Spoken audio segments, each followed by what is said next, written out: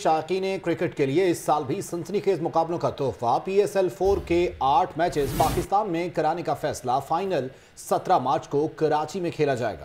Chairman P C B کی زیر صدارت اجلاس میں اہم فیصلے سامنے آ گئے ہیں۔ مزید کیا فیصلے کیے گئے اور کب سے میچ سٹارٹ ہیں بات کر لیتے ہیں ثناء اللہ خان سے۔ ثناء اپڈیٹ کیجیے گا۔ کیا فیصلے کیے گئے اس اجلاس میں؟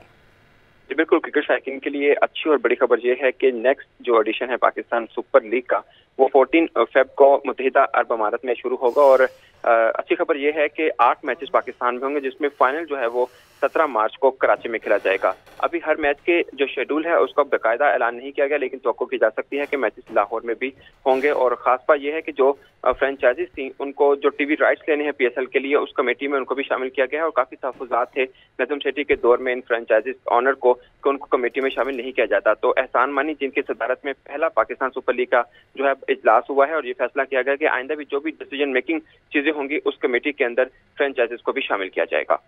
ٹھیک ہے بہت شکریہ آپ کا ثناء اللہ خان۔